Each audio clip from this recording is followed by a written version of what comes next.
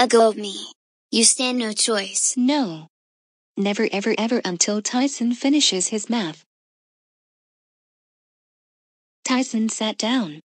I will let you go now. Oh no. The same usual lunch thing happened again. Dot. D. Matt, hold it right there.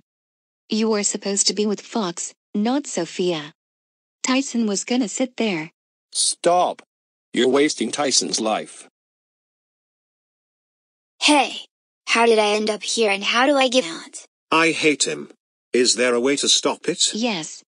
You need an iPad, a gym, a phone, some fast running boots, the internet, a notebook, a lamp, a road, and soda pop. Really?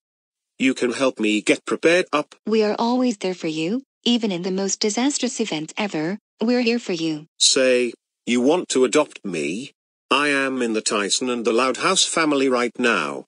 And I'm gonna be in the PBS family in the future. That's right. We'll be adopting you after Monday in the afternoon. I'm so excited for adoption. I am excited too. Okay. I will get out of here eventually using my mind.